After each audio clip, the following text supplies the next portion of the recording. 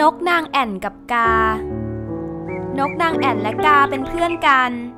วันหนึ่ง ขณะที่ทั้งสองเกาะอยู่บนกิ่งไม้ นกนางแอ่นก็สังเกตเห็นว่าขนของกามีสีที่ไม่สวยงามเอาเสียเลย มันจึงกล่าวกับกาว่า เจ้านั้นมีขนที่ทั้งหนา ใหญ่และสีดำสนิท และดูน่าเกลียดน่ากลัวนัก ตรงข้ามกับขนของข้าที่เรียวเล็กและบาง ซ้ำยังมีสีสันสวยงาม ยิ่งกว่าขนของเจ้าเป็นไหน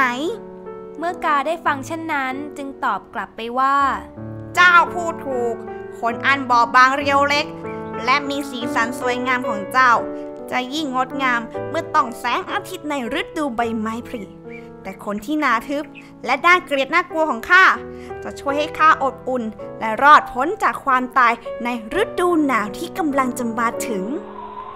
นิทานเรื่องนี้สอนให้รู้ว่า สิ่งสวยงามไม่จำเป็นต้องมีประโยชน์เสมอไป